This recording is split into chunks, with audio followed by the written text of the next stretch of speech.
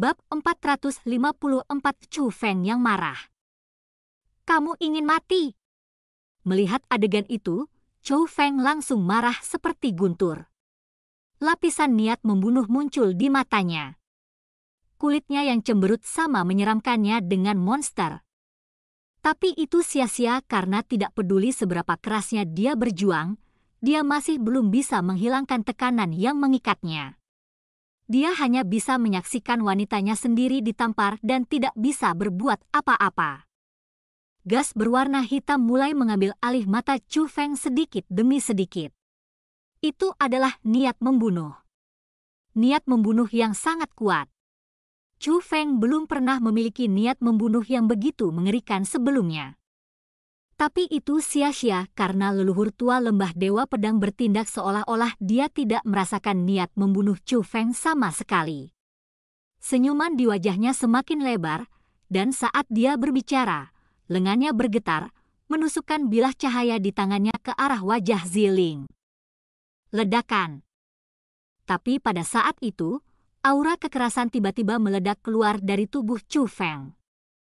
Kekuatannya kuat, dan leluhur tua lembah Dewa Pedang serta kepala lembah Dewa Pedang tidak dapat menahannya saat mereka berteriak kesakitan dan terlempar beberapa ribu meter jauhnya.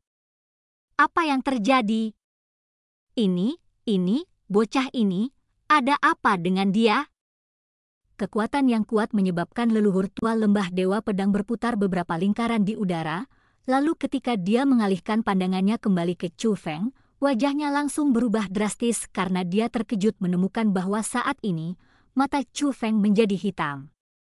Mata berwarna hitam itu sangat menakutkan. Mereka seperti binatang buas yang berkedip-kedip karena haus darah yang mengerikan. Itu bahkan bukan mata manusia. Mereka tampak lebih mirip milik setan. Dan pada saat yang sama mata Chu Feng berubah, dua jenis petir bahkan melingkari Chu Feng itu adalah petir berwarna biru dan petir berwarna emas. Kedua petir itu terjalin bersama dan terus mengeluarkan suara berderak dan tanpa henti menciptakan dua jenis percikan api yang berbeda. Kelihatannya sederhana, namun kenyataannya, itu memancarkan aura yang sangat menakutkan. Seolah-olah kedua petir itu bukanlah petir melainkan dua binatang purba raksasa menakutkan yang mengandung kekuatan mengerikan yang dapat menghancurkan dunia ledakan. Tepat pada saat itu, sebuah ledakan tiba-tiba terdengar dari atas langit dan segera setelah itu, awan berwarna hitam tak berujung muncul. Awan hitam muncul di udara saat berguling. Hampir dalam sekejap, mereka menutupi seluruh lembah Dewa Pedang dan bahkan terus berkembang, menyelimuti seluruh daratan di tempat itu. Astaga! Apa ini? Apa yang telah terjadi? Hari yang awalnya cerah sejauh 10.000 mil dengan matahari terbenam di barat, namun awan hitam tiba-tiba muncul, menyebabkan wilayah itu diselimuti kegelapan. Jika seseorang mengulurkan tangannya, jari-jarinya tidak akan terlihat. Mereka tidak akan bisa melihat apa pun. Satu-satunya hal yang bisa dilihat adalah dua petir yang terjalin tanpa henti di langit yang menderu-deru, dan dengan penerangan petir, orang dapat melihat bahwa ekspresi Chu Feng sangat menyeramkan. Dia tidak lagi terlihat seperti manusia atau monster. Itu tidak bisa digambarkan, tapi itu sangat mengerikan. Dengan sekali pandang, seseorang akan ketakutan dan berkeringat dingin. Mengapa kamu menyakitinya? Bagaimana kamu berani menyakitinya? Akhirnya, Chu Feng berbicara. Suaranya tampak tenang, tapi mengandung haus darah yang tak terbatas. Itu bukan suara seseorang, tapi lebih seperti suara iblis yang menakutkan. Suaranya mengerikan. Mereka yang mendengarnya tidak bisa menahan gemetar, apalagi leluhur tua lembah dewa pedang yang menjadi sasaran suara itu. Ape, ape, apa yang kamu? Monster macam apa kamu ini? Nenek moyang lama lembah dewa pedang bertanya dengan keras dia melakukan yang terbaik untuk tetap tenang. Bagaimanapun, dia memiliki budidaya alam surga tingkat tujuh saat ini, jadi dia tidak merasa bahwa Chu Feng, yang hanya berada di alam surga tingkat satu, akan dapat memperoleh keuntungan apa pun dari tangannya. Meskipun saat ini, langit ditutupi oleh awan hitam dan menyelimuti seluruh area, meskipun aura yang sangat menakutkan terpancar dari tubuh Chu Feng dan semakin kuat, dia masih tidak mau percaya. Dia tidak mau percaya bahwa dia akan kalah dari anak nakal seperti Chu Feng. Jadi, dia dengan marah meraung, dan tanpa terkendali meledakkan aura alam surga tingkat tujuh. Dia memutar semua kekuatan surga di tubuhnya dan menggunakan keterampilan bela diri peringkat tujuh. Bung gemuruh gemuruh gemuruh gemuruh. Saat serangan itu keluar, bahkan udara pun bergetar. Semua orang bisa melihat pedang cahaya besar yang dipadatkan oleh kekuatan surga muncul di udara.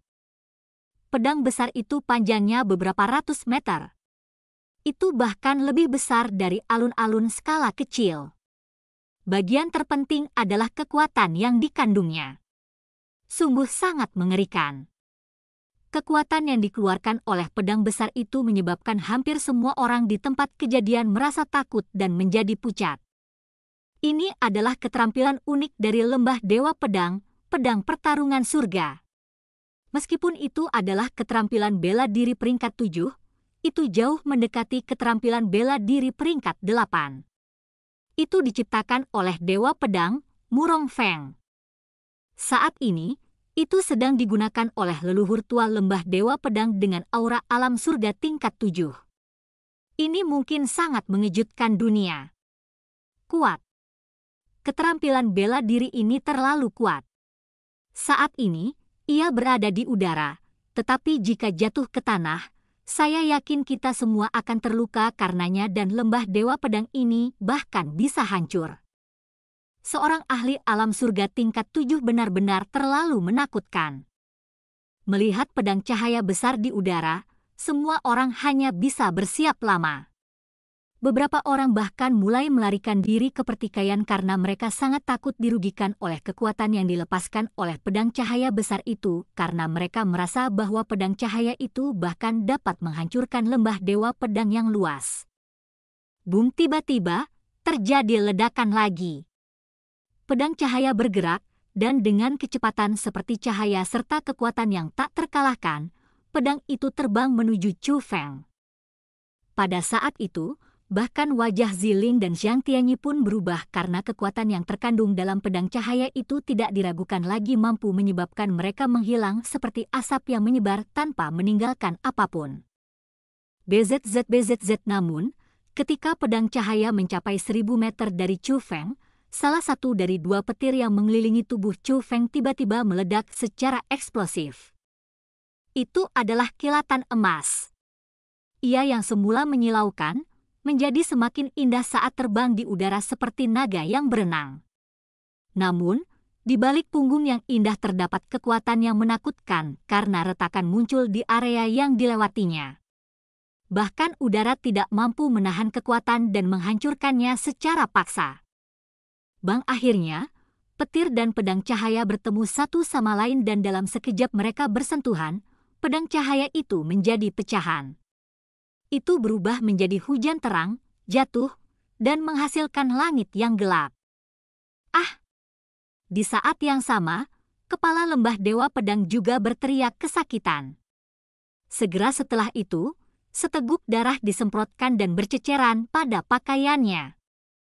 Itu karena pedang cahaya adalah serangan dengan kekuatan penuhnya.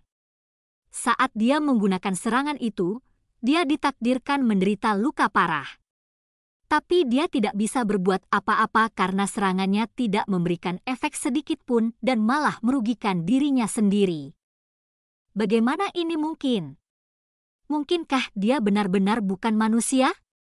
Setelah melihat ayahnya sendiri menerima luka parah, auranya mulai menurun dengan cepat dan kembali ke alam surga tingkat enam dalam sekejap, kepala lembah dewa pedang benar-benar ketakutan. Sebab, dia merasa sudah tidak punya harapan lagi. Chu Feng terlalu menakutkan. Sepanjang hidupnya, dia belum pernah melihat keberadaan yang begitu menakutkan. Begitu menakutkan hingga membuatnya merasa putus asa, seolah tidak ada yang bisa menahannya. Saat itu, dari lubuk hati hampir semua orang, mereka memikirkan satu hal. Itu adalah apakah Chu Feng bahkan seorang manusia? Bab 455 Ledakan Besar yang Mengejutkan Bu, akan turun hujan, cepat bawa kembali pakaianmu. Di suatu lokasi di Provinsi Sui, seorang gadis, di halaman, berteriak keras.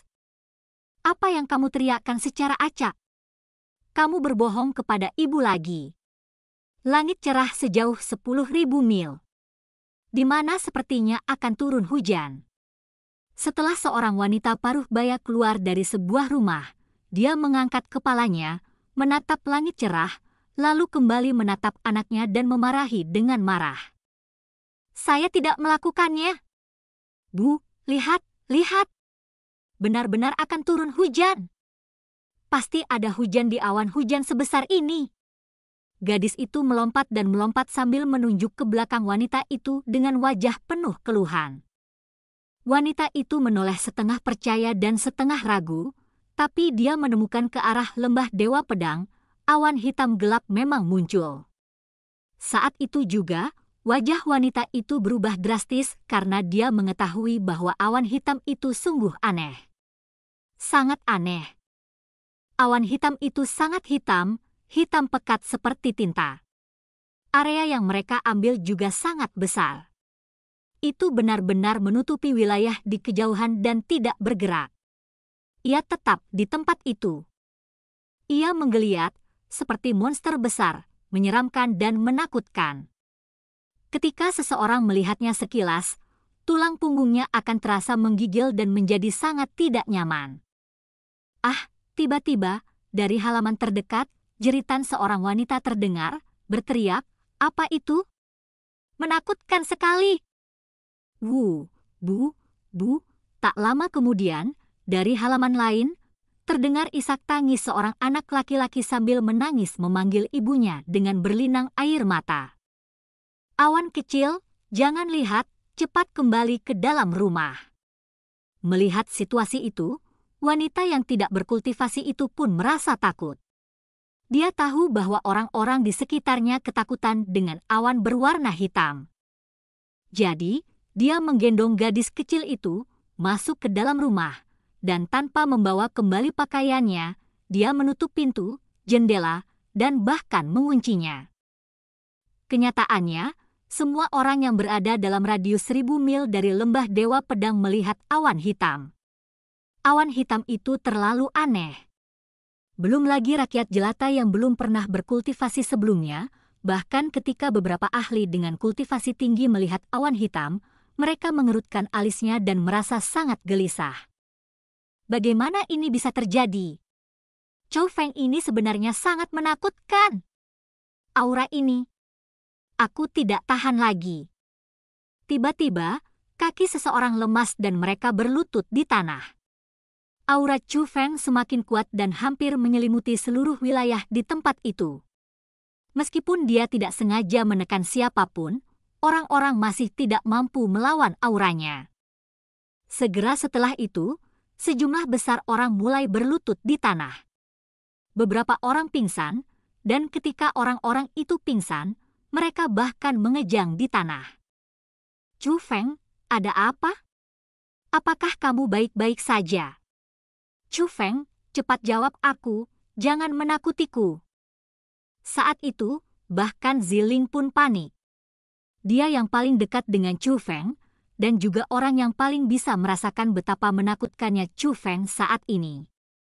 Jika ada yang bertanya betapa menakutkannya Chu Feng pada saat itu, bahkan sebagai tubuh ilahi, dia merasa sangat cemas karena kekuatan ilahinya gelisah, seolah-olah merasakan gangguan kekuatan Chu Feng.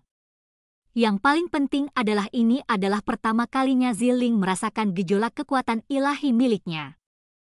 Tapi dia bahkan lebih khawatir karena dia menemukan bahwa tidak hanya mata Chu Feng yang berubah, seluruh orangnya tampaknya telah berubah. Dia tampaknya bukan Chu Feng yang dia kenal, dan kenyataannya, sejak Chu Feng berubah, dia hanya menatap tajam ke arah leluhur jauh lembah Dewa Pedang dan bahkan tidak melirik ke arah Ziling. TA. Tiba-tiba, Chu Feng pindah. Dia mulai bergerak maju, berjalan perlahan menuju leluhur tua lembah Dewa Pedang. Saat dia berjalan, dia berbicara. Suara seperti guntur bergema di seluruh negeri itu. Akan ada suatu hari ketika langit ini hancur karena aku, ketika tanah ini runtuh karena aku, ketika matahari, bulan, dan bintang berubah karena aku.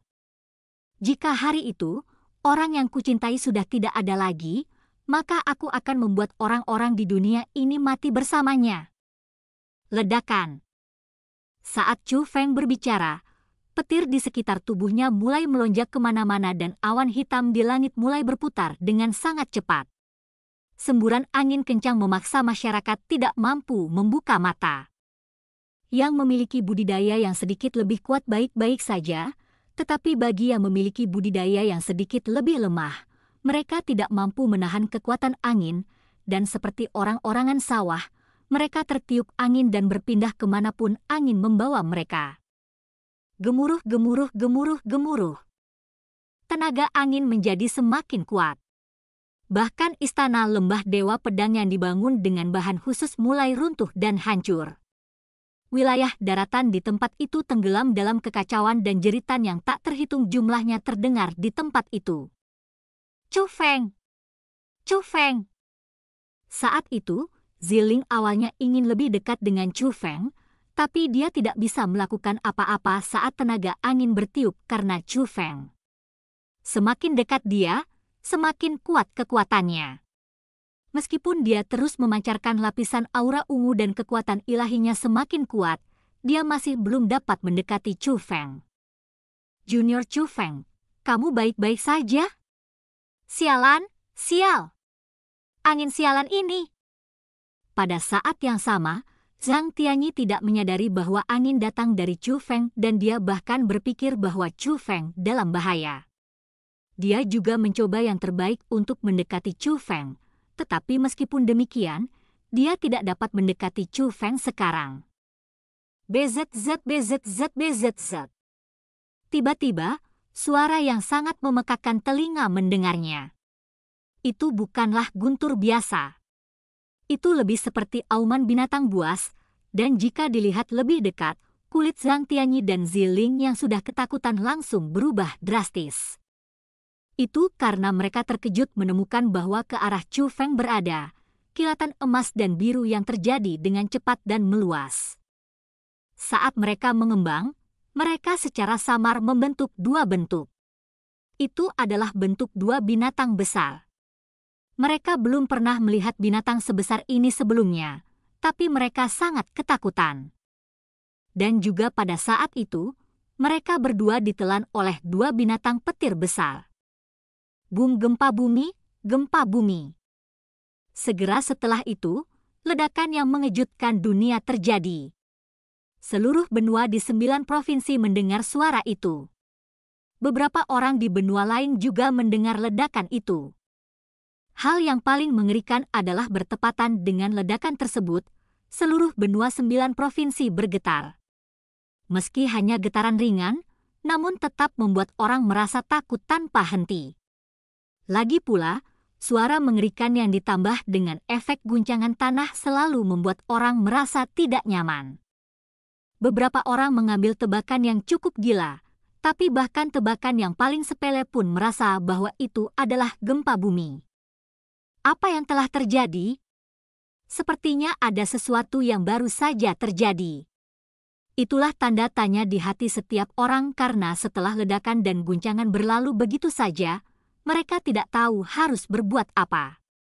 Mereka tidak tahu apakah yang terjadi itu nyata atau hanya imajinasi mereka saja. Pada saat yang sama, di Provinsi Han di benua sembilan provinsi, di dalam kota megah yang mendominasi udara, terdapat sebuah menara tinggi yang terhubung dengan langit dan menembus awan putih. Menara tinggi itu mempesona dengan warna emas saat didirikan di sana, seperti pedang tajam yang menusuk langit secara terbalik. Saat itu juga, di menara tinggi, seorang lelaki tua berambut putih dan abu-abu, berpakaian emas duduk di sana. Saat ini, pandangan yang tua namun jernih telah terbuka. Mereka menatap Provinsi Sui sambil berkilauan. Tiba-tiba, mahkota yang seputih salju dan seperti pedang berkerut ringan saat dia mendekat Provinsi Sui. Apa yang baru saja terjadi? Dan ketika benua sembilan provinsi, bahkan orang-orang di benua sembilan provinsi, diguncang oleh suara yang sangat besar, di inti ledakan, di dalam lembah Dewa Pedang, semuanya berubah hingga tidak ada yang tampak seperti itu. Sama lagi. Lembah Dewa Pedang benar-benar menjadi lembah yang dalam. Lembah dalam yang sangat besar. Bekas lembah Dewa Pedang sudah tidak ada lagi, karena ditutupi oleh lembah dalam berbentuk setengah lingkaran yang sangat besar. Luas lembah yang dalam 10 kali lipat dari lembah Dewa Pedang sebelumnya, dan di luar lembah yang dalam, retakan tebal dan dalam yang tak terhitung jumlahnya menyebar dan meluas. Saat ini, ada beberapa awan berwarna hitam yang enggan pergi dan masih melayang di langit. Sinar matahari yang terbenam di timur juga menyinari lembah yang dalam dengan asap tebal yang mengepul. Tapi di tempat itu, tidak ada sedikit pun kekuatan hidup. Itu adalah suasana yang tak bernyawa. Bab 456 ini adalah bencana alam. Di benua sembilan provinsi, di Provinsi Sui, di dalam perbatasan lembah Dewa Pedang, awan hitam besar tiba-tiba muncul. Sesaat setelah awan hitam muncul, terjadilah ledakan yang menakutkan. Ledakan itu mengejutkan seluruh benua di sembilan provinsi. Bahkan orang-orang di luar benua pun mendengarnya. Orang-orang dari Provinsi Sui bahkan melihatnya secara pribadi. Cahaya menyilaukan yang terbentuk dari jalinan biru dan emas menyebar dari arah lembah Dewa Pedang. Setelah cahaya yang menyilaukan, lembah Dewa Pedang menjadi rata. Lebih tepatnya, seluruh area yang tertutup awan hitam menjadi lembah dalam yang sangat luas. Dalam jangkauan lembah yang dalam, tidak ada kehidupan atau bangunan yang tersisa. Hal ini mengejutkan seluruh benua. Dinasti Jiang bahkan mengirimkan ahli puncak ke lembah Dewa Pedang di Provinsi Sui untuk menemukan kebenaran ledakan mengejutkan tersebut. Akhirnya, dinasti Jiang berakhir dengan sebuah kesimpulan. Ledakan mengerikan tersebut merupakan bencana alam. Adapun mengapa bencana alam tiba-tiba muncul, bahkan orang-orang dari dinasti Jiang pun tidak tahu alasannya. Dan menghadapi pernyataan itu, mereka yang secara pribadi melihat lembah Dewa Pedang Tua dan pergi melihat lembah yang luas semuanya setuju bahwa kesimpulan dinasti Jiang adalah benar. Itu karena seseorang sama sekali tidak bisa menciptakan kehancuran yang begitu mengerikan. Setidaknya, di benua sembilan provinsi saat ini, sepertinya tidak ada orang yang melakukan hal seperti itu. Waktu berlalu, dan seperti sekejap, dua bulan telah berlalu sejak ledakan besar yang menakutkan itu. Setelah dua bulan, masyarakat masih heboh membicarakan ledakan besar tersebut. Itu adalah topik diskusi favorit semua orang di waktu senggang. Dalam waktu dua bulan, perubahan yang sangat besar juga terjadi di lembah yang sangat dalam. Karena lembah yang dalam terlalu dalam, menyebabkan air bawah tanah muncul kembali. Hal ini juga mengubah beberapa rute sungai yang menyatu ke lembah yang dalam. Jadi, setelah dua bulan, banyak air yang terkumpul di lembah yang dalam hampir menjadi danau yang luas, dan mengenai danau itu, orang-orang bahkan menamainya. Danau Bencana Alam Seiring dengan perluasan danau bencana alam yang terus-menerus, lembah yang dalam terus terisi. Lembah Dewa Pedang yang telah ada selama hampir seribu tahun juga menghilang selamanya dari pandangan orang. Di Provinsi Azur, di dalam makam seribu tulang, di samping formasi roh yang menyegel Suro dan Sume, Chu Feng dengan tenang berbaring di tempat tidur dan di sampingnya, Ziling memandang ke arahnya. Adik ipar, bagaimana kabar junior Chu Feng? Sebuah suara terdengar. Sang Tianyi perlahan berjalan mendekat. Leluhur Azur Dragon baru saja datang dan melihat-lihat. Dia mengatakan bahwa tubuh Chu Feng cukup baik sekarang dan dia yakin dia akan bangun kembali setelah beberapa hari lagi. Zilin tersenyum ringan dan berkata, tapi tatapannya masih terpaku pada tubuh Chu Feng. Itu hebat. Pada hari itu, jika bukan karena junior Chu Feng, kemungkinan besar kita akan mati di sana. Zhang Tianyi memandang Chu Feng dengan penuh arti. Selama dia mengingat kembali pemandangan menakutkan dua bulan lalu di lembah Dewa Pedang, dia tidak bisa menghindari perasaan sedikit takut terhadap Chu Feng. Sebab, pada saat itu, meskipun dialah yang mengembangkan teknik misterius terlarang, dia masih merasakan ancaman yang fatal.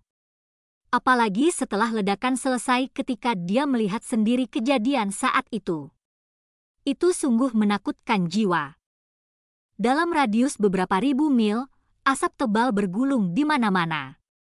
Dia tidak bisa merasakan sedikit pun jejak kehidupan benar-benar terlalu menakutkan karena dia yang selama ini menganggap dirinya luar biasa tidak pernah menyangka akan ada orang yang bisa menciptakan kerusakan mengerikan seperti itu dengan kekuatannya sendiri. Sungguh kekuatan yang dapat menghancurkan langit dan bumi. Senior Zhang, kamu belum memberitahu siapa pun tentang Chu Feng kan? Ziling dengan ringan tersenyum dan bertanya. Saya belum. Saya tahu betapa kuatnya informasi seperti ini. Jika diketahui, sangat mungkin dapat menimbulkan masalah bagi junior Chu Feng jadi wajar saja saya tidak akan memberitahu siapa pun.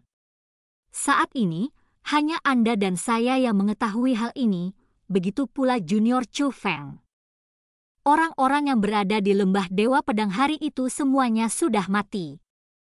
Sebenarnya, jika dipikir lebih hati-hati, Sungguh merupakan keajaiban bagi saya untuk bertahan dari tingkat kekuatan yang menakutkan seperti itu. Zhang Tianyi tersenyum. Saya yakin Chu Feng pada saat itu masih memiliki alasan yang kuat. Jika dia tidak ingin melindungi kita dari tingkat kekuatan sebesar itu, bagaimana mungkin kita bisa hidup? Ziling berkata sambil tersenyum. Ya. Zhang Tianyi mengangguk setuju, Lalu setelah melihat Chu Feng dalam-dalam, dia pergi. Ketika kekuatan di tubuh Chu Feng meledak, bahkan Ziling dan Zhang Tianyi tercengang karena mereka menyadari bahwa Chu Feng memiliki kekuatan yang sangat merusak. Dan kekuatan seperti itu tidak dapat diketahui orang lain. Jika kekuatan kuat tertentu mengetahuinya, tidak jelas apakah Chu Feng akan mendapat keberuntungan atau bencana. N. O masuk. Ziling mendengar kakeknya berkata sebelumnya bahwa di wilayah Laut Timur terdapat kekuatan yang begitu menakutkan. Mereka biasanya menggunakan metode beracun untuk mengambil kekuatan orang lain dan memasukkannya ke dalam tubuh mereka sendiri. Meskipun kekuatan-kekuatan itu jahat dan jahat, memang ada banyak dari mereka dan banyak yang sudah mempunyai kedudukan. Mereka menguasai suatu daerah, dan tidak ada orang yang berani membuat mereka marah. Jadi, saat itu, Ziling dan Zhang Tianyi langsung memutuskan untuk tidak memberitahu siapa pun tentang rahasia tubuh Chu Feng. Bahkan jika itu adalah keluarga Chu Feng atau pendiri Azur Dragon, mereka tidak dapat diberitahu. Sebenarnya, menurut sifat Ziling, pikiran pertama saat itu adalah membunuh Xiang Tianyi. Hanya itu yang paling aman, paling tepat. Tapi dia tidak bisa melakukan apa-apa karena di satu sisi, kekuatan lebih rendah dari Xiang Tianyi, dan bahkan jika dia benar-benar membunuh Xiang Tianyi atas kebijakannya sendiri, dia takut Chu Feng akan menyalahkannya. Jadi, dia tidak melakukan hal ekstrim seperti itu. Setelah itu, keduanya membawa Chu Feng yang tidak sadarkan diri dan sangat lemah kembali ke sini. Sampai sekarang, dia sudah pulih selama lebih dari dua bulan, tapi Chu Feng masih belum bangun. Setelah beberapa hari, Ziling masih seperti biasa, melihat ke arah Chu Feng di sisinya. Meskipun dia tahu bahwa Chu Feng cukup baik, selama Chu Feng tidak bangun, ekspresi kekhawatiran masih terlihat di wajahnya. MM, akhirnya, mata Chu Feng sedikit bergetar, dan pada saat yang sama, suara HMP haringan terdengar dari mulut. Chu Feng, Chu Feng, bangun! Berhenti tidur! Melihat itu, Ziling langsung gembira dan dia buru-buru memanggil Chu Feng terus-menerus, sangat takut dia akan kembali tidur. Memang benar, dengan panggilan manis Ziling, mata Chu Feng mulai terbuka perlahan. Setelah dia melihat Ziling, senyuman ringan yang bersinar dan damai muncul dari sudut mulutnya, tapi ketika dia memperhatikan sekelilingnya, sedikit kebingungan melintas di matanya saat dia bertanya pada Ziling. Ziling, Ho, bagaimana kita bisa kembali ke makam seribu tulang? Bukankah seharusnya kita berada di lembah Dewa Pedang? Chu Feng, apakah kamu tidak ingat apa yang terjadi? Melihat penampilan Chu Feng yang bingung, alis Ziling sedikit berkerut dan sedikit kekhawatiran muncul di wajahnya. Lagi pula, setelah Chu Feng menguraikan kekuatan mengerikannya saat itu, tubuhnya menjadi sangat lemah. Saat itu, Ziling sudah menangis berkali-kali karena tubuh Chu Feng saat itu terlalu lemah. Sangat lemah sehingga dia mungkin mati kapan saja. Jadi, meskipun Chu Feng sudah pulih, dia masih sangat khawatir. Khawatir apakah Chu Feng akan menerima efek merugikan karena apa yang terjadi. Bab 457, sama sekali jangan menyakitinya. Saya hanya ingat kesadaran nenek moyang lembah Dewa Pedang, Murong Feng, yang melekat pada tubuh nenek moyang lembah Dewa Pedang. Saya tidak ingat terlalu jelas tentang hal-hal yang terjadi setelahnya. Chu Feng mulai mengatur fragmen memori di otaknya, tetapi ingatannya, dari awal hingga akhir, terkunci pada adegan di mana leluhur tua lembah Dewa Pedang memiliki kesadaran yang melekat padanya dan budidayanya meningkat dari tingkat keenam dari alam surga ke alam surga tingkat tujuh. Dia tidak dapat mengingat apa yang terjadi setelahnya. Chu Feng, saya merasa Anda harus mengetahui hal ini. Mungkin Anda bisa mendapatkan pemahaman yang lebih dalam tentang kekuatan Anda sendiri. Melihat itu, Ziling tidak menyembunyikan apa pun, dan dia menceritakan semua yang terjadi setelahnya kepada Chu Feng secara detail. Itu tidak mungkin, kan? Kamu bilang aku, dengan kekuatanku sendiri, menghancurkan lembah Dewa Pedang. Setelah mendengar kejadian yang terjadi, bahkan Chu Feng pun merasa sangat terkejut. Tidak, lebih tepatnya, kamulah yang menghancurkan segala sesuatu dalam radius seribu mil dari lembah Dewa Pedang. Ziling berkata dengan serius. Teguh pada saat itu, bahkan Chu Feng sendiri tidak bisa menahan diri untuk tidak menelan ludah keliling seribu mil. Seberapa luas tanah itu? Bahkan jika dia menggunakan naga perjalanan melalui sembilan surga untuk terbang dengan cepat, dia masih harus terbang untuk sementara waktu. Dan menurut apa yang dikatakan Ziling, saat itu, hanya satu serangan yang menghancurkan daratan dalam radius seribu mil. Dia benar-benar bisa membayangkan betapa menakutkannya kekuatan itu tapi Chu Feng tanpa ragu mempercayainya. Dia percaya semua yang dikatakan Ziling karena kilat emas dan kilat biru memang sesuatu yang dia pahami. Dan alasan mengapa dia begitu terkejut adalah karena meskipun dia tahu bahwa petir ilahi di tubuhnya sangat kuat, dia tidak pernah menyangka bahwa itu akan sekuat itu. Itu benar Chu Feng. Ada juga ini. Saya yakin setelah menyempurnakan ini, anda seharusnya bisa menerobos, kan? Saat Ziling berbicara, dia mengambil cosmosaknya dan menyerahkannya kepada Chu Feng. Ziling, ini. Setelah membuka cosmosak, Chu Feng terkejut sekali lagi karena cosmosak berisi manik-manik yang sangat besar. Ada lima juta. Pada hari itu, kamu menghancurkan lembah Dewa Pedang, tetapi secara tidak langsung, kamu juga menyebabkan perbendaharaan lembah Dewa Pedang yang tersembunyi jauh di bawah tanah meledak, dan kamu juga menghancurkan kuncinya. Setelah itu, saya meminta senior Xiang untuk menjual beberapa harta yang tidak dapat digunakan dan mengubah semuanya menjadi sumber daya budidaya yang dapat Anda budidayakan. Manik-manik yang sangat besar di sini dapat dikatakan sebagai segalanya di lembah Dewa Pedang. Ziling menjelaskan. Lalu bagaimana dengan senior Zhang? Aku tidak bisa menggunakan begitu banyak manik-manik mendalam sendirian. kata Chu Feng. Sang senior mengembangkan teknik misterius terlarang. Dia sama dengan saya, dia tidak membutuhkan sumber daya budidaya yang besar. Lagi pula, dia sudah merasa kalau bukan karena kamu, kami pasti sudah mati saat itu. Jadi, dia tidak mau mengambil satupun manik yang sangat besar. Berkultivasi dengan tenang, cepat naik ke alam mendalam tingkat tujuh, dan hanya dengan begitu Anda dapat menyelamatkan Suro dan Sume, kata Ziling dan melihat Suro dan Sume yang disegel dalam formasi roh di sebelahnya, Chu Feng juga tidak ragu-ragu dan menyimpan cosmosa. Dengan perkiraannya, sama sekali tidak ada masalah menembus alam mendalam tingkat tujuh dengan begitu banyak manik-manik mendalam. Setelah menyingkirkan manik-manik yang mendalam, Chu Feng tidak terburu-buru mengolahnya. Dia pertama-tama pergi menemui anggota keluarganya dan memberitahu mereka bahwa dia sudah sehat sehingga mereka tidak khawatir. Memang benar, setelah semua orang melihat Chu Feng berdiri, mereka semua menghela nafas lega dan hati mereka yang tegang akhirnya menjadi tenang. Setelah itu, untuk merayakan kesembuhan Chu Feng, Hang Tianyi secara khusus meninggalkan makam seribu tulang dan pergi mencari setumpuk besar makanan lezat. Setelah membawanya kembali, Chuyu dan yang lainnya memasaknya dan membuat pesta mewah yang tiada tara.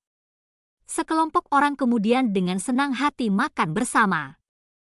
Setelah makan, rasa kantuk tiba-tiba melonjak, jadi Ziling berbaring di pelukan Chu Feng dan tertidur.